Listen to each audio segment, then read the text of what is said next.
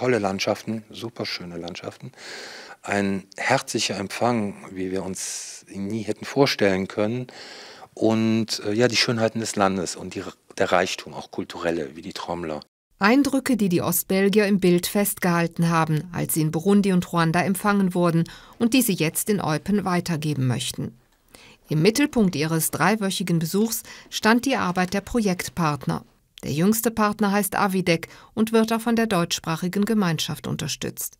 In Burundi hilft die Organisation vor allem Kleinbauern, die in dem hügeligen Land unter schwierigen Bedingungen ums Überleben kämpfen. Sie leben in extremer Armut, also am Anfang, wenn man mit ihnen anfängt zu arbeiten. Äh, wie gesagt, die Erde ist kaum mehr brauchbar. Sie muss erneuert, erfrischt werden durch Kompostierung. Äh, die Pflanzen, die sie benutzen, das Obst, das sie anbauen, ist nicht angepasst, ist nicht ertragreich. Die Kühe, die sie da haben, die traditionellen, äh, werfen kaum Milch ab.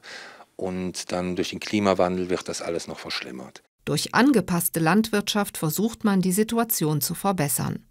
Statt freilaufender Viehhaltung wird auf Stallhaltung umgestellt. Mit dem Kompost können die Bauern die Felder düngen, anstatt sie abzubrennen. Gefördert werden auch Filteranlagen. Hier können die Menschen in der Nähe ihres Hauses sauberes Wasser schöpfen und müssen keine langen Wege zu verschmutzten natürlichen Quellen zurücklegen.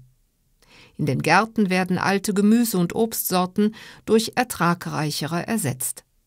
Damit das alles gelingt, bieten die Partnerorganisationen Aus- und Weiterbildungen für die Bauern an, die ihr Wissen an andere Gruppen weitergeben sollen. Das klappt dann noch besser. Also wir haben wirklich äh, eine Gruppe Frauen gesehen, äh, da haben sich dann andere Gruppen noch gebildet und die haben uns erzählt, dass sie jetzt Land gekauft haben, dass sie da jetzt vermarkten und wirklich ganz selbstständig äh, ihr Leben verbesserten. Es geht darum, dass die Menschen äh, langfristig, das ist das Wunschziel, ohne finanzielle Unterstützung auskommen. Noch aber sind die Menschen dort auf Hilfe und Erfahrungsaustausch angewiesen.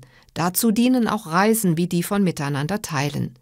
Die Ausstellung mit den Fotos aus Burundi und Ruanda ist noch bis Sonntag im Eupner Kolpinghaus zu sehen.